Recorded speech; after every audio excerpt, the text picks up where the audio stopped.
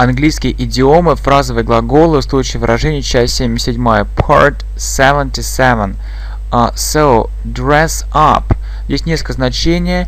Uh, первое значение uh, наряжаться. I think, я думаю, I think most children. Большинство людей, uh, большинство uh, детей нравится наряжаться. Most children love dressing up. I think uh, most children love dressing up. Uh, и dress up это одевать какую-то формальную одежду на какое-то мероприятие. Uh, I dressed up. I dressed up uh, for the conference. Я ну, оделся формально, надел формальную одежду на конференции. I dressed up for the conference. Далее, dress down, наоборот, uh, носить неформальную какую-то одежду. I like dressing down. Мне нравится носить uh, неформальную одежду. I feel very comfortable. I feel very comfortable. Я чувствую себя очень uh, комфортно.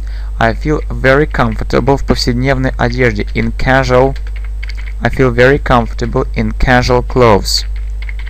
Далее, drop out, выбыть. Например, she dropped out of college. Она выбыла из uh, колледжа. She dropped out of college. She dropped out of college. После этого она начала работать. After that, she started uh, she started working. Uh, далее, dwell on, остановиться uh, на какой-то проблеме, вещи. I'd like, я хотел бы остановиться на этой проблеме. I'd like to dwell on, I'd like to dwell on this problem. I'd like to dwell on this uh, problem. И uh, dance with death, дословно танцевать со смертью, рисковать.